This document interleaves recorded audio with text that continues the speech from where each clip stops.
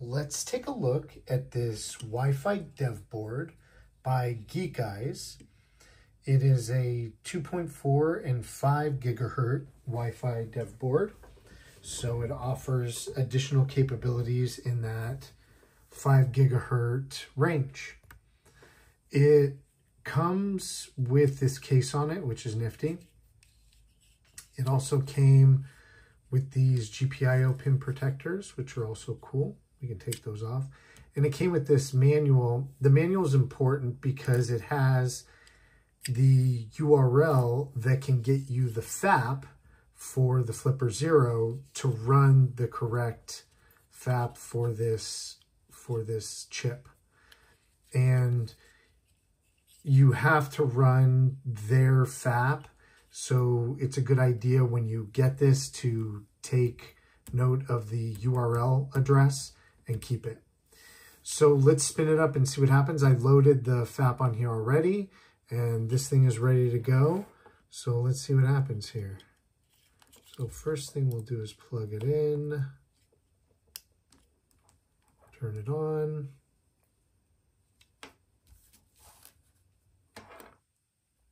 And we will go to the app. I put it in GPIO.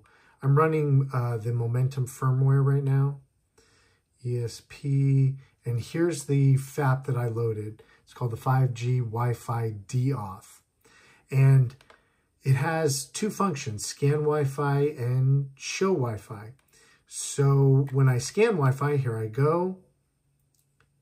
It's telling me to wait, and it's going to give me a list of everything. And there's 29 things on the list. I can go through here and choose things that I want to do a deauth attack on.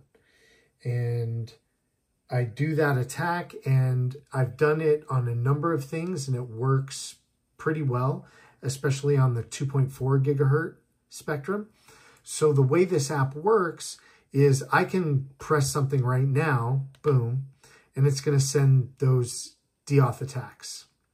I can stop the attack by going back and it stops the attack.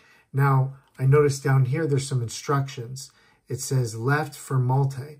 So if I hit the left button, it opens up a little area right here and I can tap and go down and tap and go down and choose things as, as I want or deselect things. So if I notice, okay, this is channel 6, 2.4, let's go over here. Oh, this is also channel 6. It's got pretty much the same um, um, range. So I want to deauthenticate both of those. So now when I'm going to, I'm sorry, deauth both of those. So when I press back on this, it's going to start the deauth attack. And there we go. It started the deauth attack.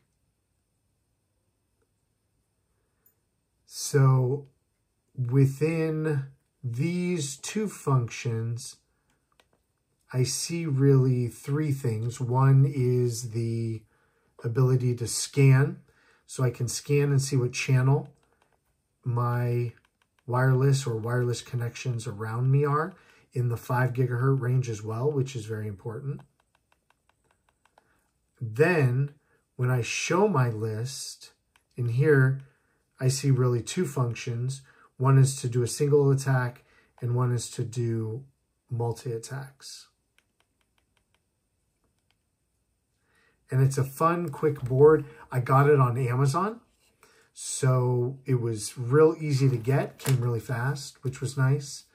It worked really well as soon as I uh, loaded. It even mentions in the in the instruction manual here and on I believe the Amazon website, that you want to be running momentum firmware. It specifically mentions that. It, it calls it MNT, MTNM. That's what it calls it, MTNM, momentum firmware. And it wants you running that firmware. And when you go on their site, it has a link to the momentum firmware and a link to download the FAP to load so that you can run the this app with this firmware here on the chip. So yeah. And when you, you can unscrew these to release it from the case, I guess if you ever wanted to reflash the chip.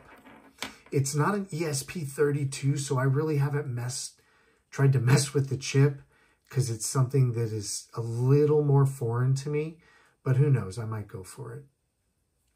But yeah, that's what you have to do.